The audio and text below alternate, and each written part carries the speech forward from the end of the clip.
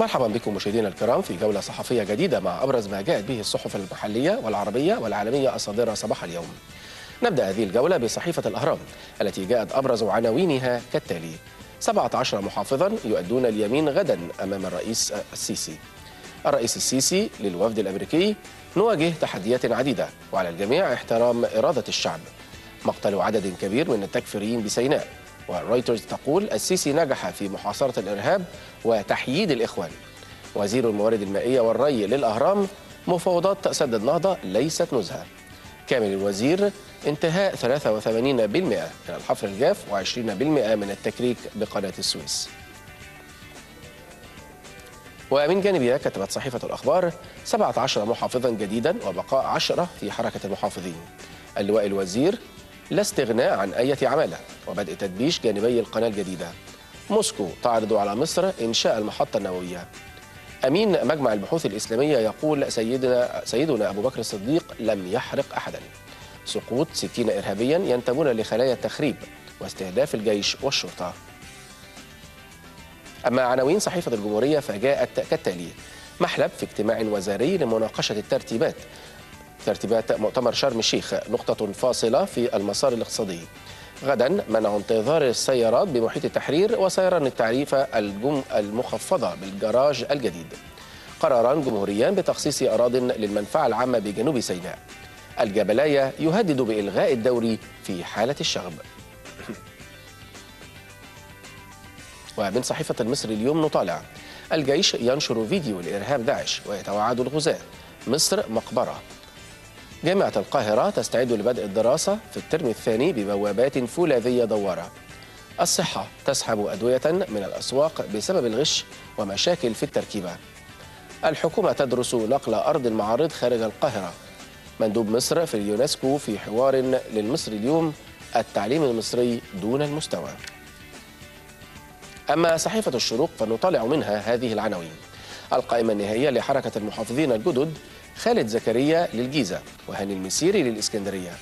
محلب يقول المحافظ لابد أن يكون مقاتلا وأعمار المحافظين الجدد ما بين 35 و 37 الدستورية تتلقى أربعة طعون على قوانين الانتخابات البرلمانية المقبلة وتقسيم الدوائر. العربي يطالب بإنشاء منظومة دفاعية عربية موحدة لمواجهة الإرهاب. وزير الأوقاف مشاورات لإلقاء خطبة جمعة موحدة بالوطن العربي.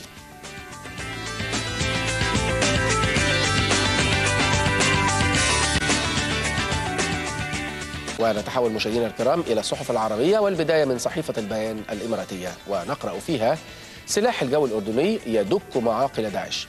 والطائرات تحلق فوق بيت العزاء إكراما لروح الشهيد وتزامنا مع زيارة الملك للتعزية.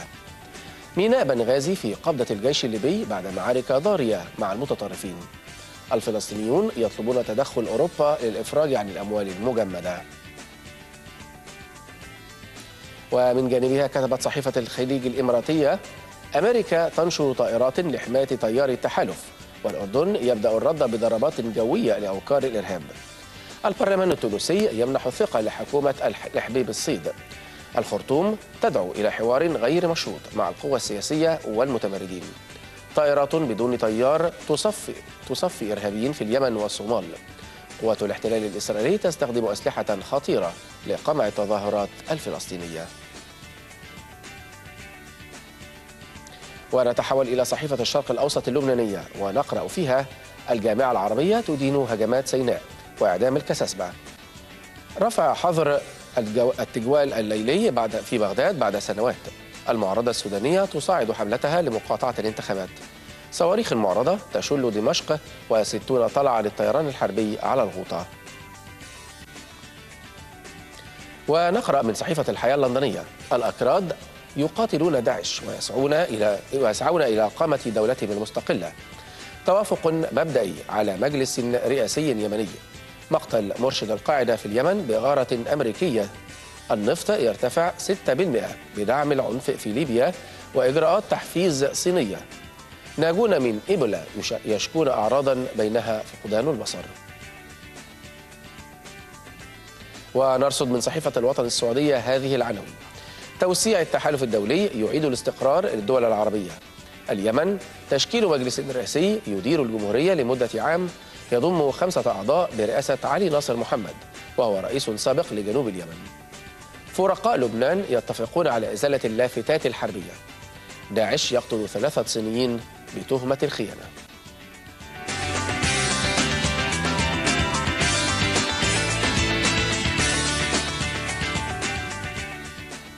ننتقل للصحف العالمية. ونطالع من صحيفة الجارديان البريطانية عناوينها والتي جاء فيها ميركل وأولاند يفاجئان موسكو بزيارة لإقناعها بخطة سلام حول النزاع الأوكراني. رغم سقوطها قائد الطائرة التابعة لشركة الطيران التايوانية ترانس إيشيا يلقى إشادة لجهوده بتجنب سقوطها على أحياء سكنية.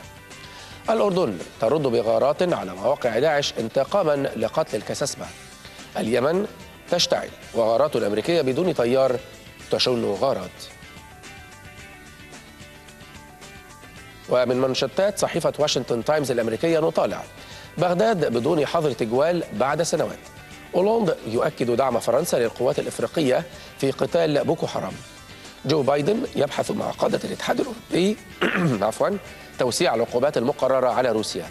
غارات أمريكية بدون طيار تردي قيادي من تنظيم القاعدة في اليمن. صحيفة واشنطن بوست الأمريكية تناولت أيضا في عناوينها منظمة حظر الأسلحة الكيميائية تدين استخدام غاز الكلور في سوريا. أوباما يقول سنتصدى للذين يستغلون الدين لأراضيهم الهدامة. الناتو يكمل خطط قوة الرد السريع في شرق أوروبا. اليمن يفشل في التوصل لحل للأزمة السياسية. أما مانشيتات صحيفة الإندبندنت البريطانية فقد جاءت كالتالي. مجلس الشيوخ يحث الرئيس الأمريكي على إمداد أوكرانيا بالسلاح. الصين 17 يلقون حتفهم في حريق النيجر تشارك في الحملة ضد بوكو حرام. حملة إعلامية في أستراليا لإطلاق سراح الصحفي المخطوف. أما عناوين صحيفة الفاينانشال تايمز البريطانية فقد جاءت كالتالي. طائرات أمريكية شمال العراق لإنقاذ طائرات التحالف إذا أسقطت. الخارجية الأمريكية تؤيد حظر تصدير الأسلحة لجنوب السودان. آمال أوكرانية بخطة سلام خلف زيارة أولوند وميركل لروسيا. سوريا تقول مقتل أكثر من 60 مدنيا في غارات جوية ونظامية. مشاهدينا الكرام نختتم جولتنا بفاصل من رسوم الكاريكاتير الأبرز في صحف اليوم.